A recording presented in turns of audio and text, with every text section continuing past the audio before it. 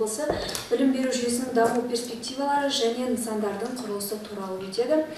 Бүгінгі таңда облыста отыз бес мыңнан астам тәрбиеленушінің жалпы контингенті алты жүз бір мектепке дейінгі білім беру ұйымында жұмыс істейді.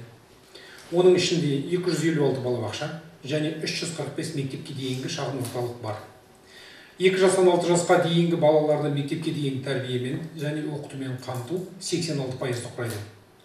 Екі жастан алты жасқа дейінгі балаларды мектепке дейінгі тәрбиемен және оқу оқытумен қамтуды ұлғайту мақсатында 2023-27 жылдарға арналған мектепке дейінгі ұйымдарды енгізу мен ашудың қамдық жоспары әзірленген. Жоспарға сәйкес 2027 жылға дейін 12 мыңға жуық жаңа орын құру және екі жастан алты жасқа дейін балаларды мектепке дейінгі тәрбиемен және оқытумен тоқсан сегіз да алты пайызға дейін қамту қамту жолы жеткізу жоспарланған. Жыл басынан бері 761 орынға 8 мектепке дейінгі ұйым ашылды. Және 1426 орындық алты бақшаның құрылысы балабақшаның құрылысы жалғасып жатыр. Орта білім беруге толыққанды тоқталатын болсақ биылғы оқу жылының басында облыста 537 күндізгі жалпы білім беретін мектеп жұмыс істейді. Бұл жерде айта кететін жай егер де былтыр 542 мектеп болатын болса ә, кейбір мектептер жабылды бірақ есесіне жаңадан ә, оқу жылының басында 5 мектеп ашылды. Сонымен міне 537 мектеп болып отыр. Онда 138 мыңнан астам оқушы оқиды.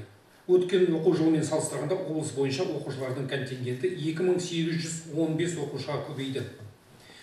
Биыл бірінші қыркүйекте 4000 орындық 5 мектеп және мектепке бір қосымша салынды.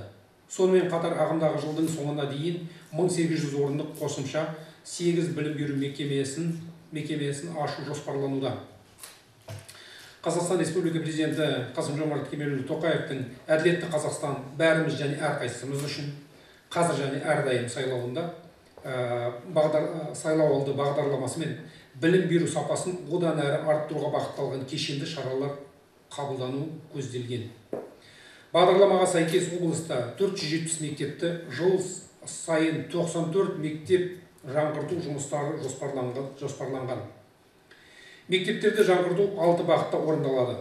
Оларға күрделі және ағымдағы жөндеу жүргізіліп пәндік кабинеттер сатып алу мектеп жиһаздарын жаңарту кітапханаларды жаңарту асханаларды жаңарту қауіпсіздік жағдайларын жақсарту ол өрт терроризмге қарсы қауіпсіздіктер осылармен жатады.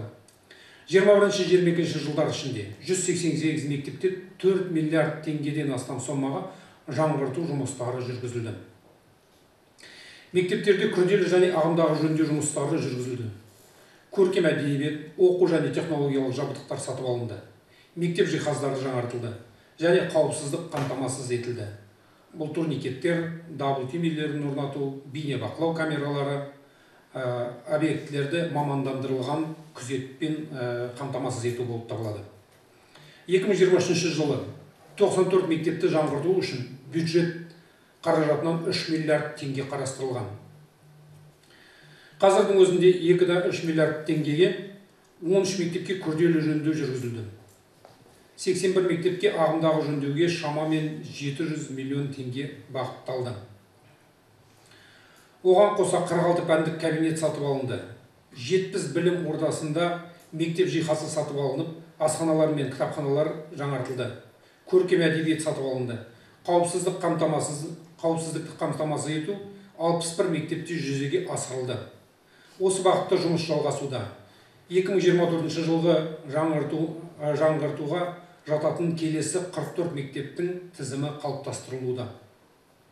Сондай ақ облыста балалардың құқықтары мен мүдделерін қорғау мақсатында балаларды қосымша тәрбиелеуді дамыту бойынша жүйелі жұмыс жүргізілуде. Ағымдағы жылы қосымша білім беруге мемлекеттік білім беру тапсырысын тапсырыс есебінен балалардың қосымша білім алу бойынша жұмыс жалғастырылуда. Бүгінгі таңда 46 ұйымда оның ішінде 43 жекеменшік атбасар аршалы бурабай ерментау қорғалжын целиноград шортанды көкшетау қосшы қалаларында 8378 сегіз орынға арналған мемлекеттік тапсырыс орналастырылған. Ақмола облысының әкімдігінің қаулысына сәйкес бір балаға орташа құны бекітілді. Ауылда 12.235 теңге құраса қалада 15.217 теңгені құрады. Жеті бағыт бойынша бұл салада бұл жеті бағыт бойынша жұмыс істеліп жатыр. Бірінші ғылыми техникалық көркеми эстетикалық туристік өлкетану экологиялық биологиялық әлеуметтік педагогикалық гуманитарлық жаратылыстану математикалық. Құрылыс басқармасымен ағымдағы жылы облыстың сегіз өңірінде ақкөл ашалы біржансал сандықтау целиноград аудандарында степногорск қосшы және көкшетау қалаларында 24 білім беру нысанын жұмыстарын жүргізуде. Жалпы алғанда осы мақсаттарға 14 миллиард теңге бағытталды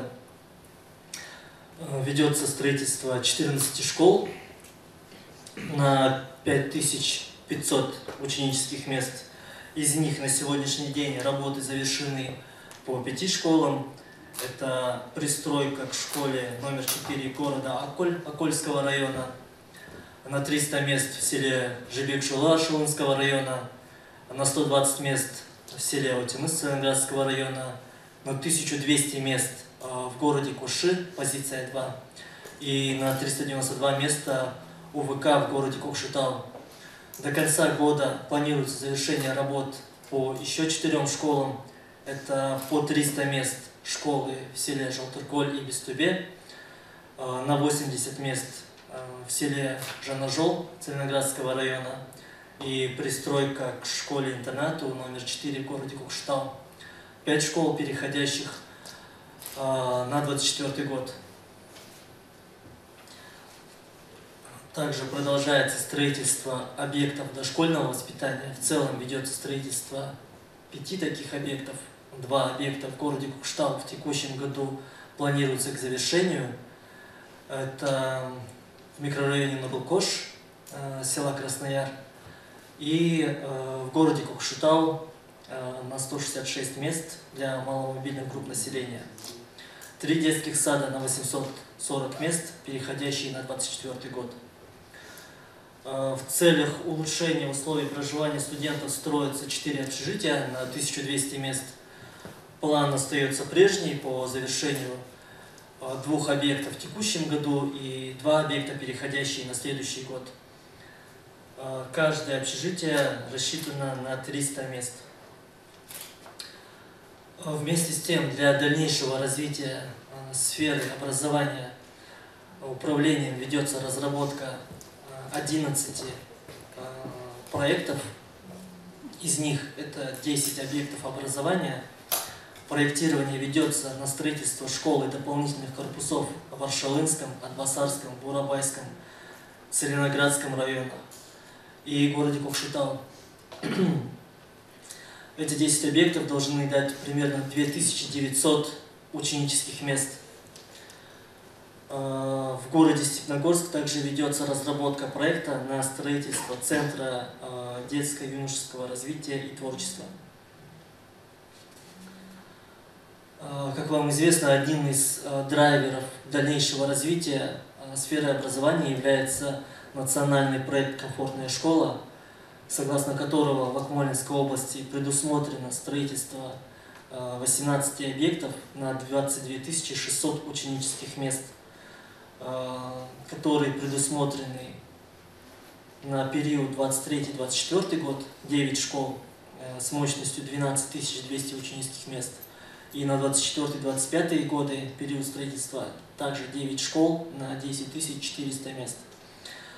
Э, в первом, э, в первой очереди у нас, получается, э, строительство школ предусмотрено в Целиноградском районе, это 7 объектов, и в городе Кокшетау 2 объекта.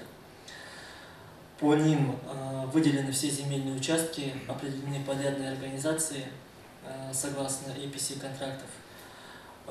Проведены работы по временному подключению электрических сетей, возведению ограждений, Э, установлены камеры видеонаблюдения, А, В, гор- а, в городе Кокшетау сейчас ведутся земляные работы, в Целиноградском районе ведутся работы по устройству свайного поля.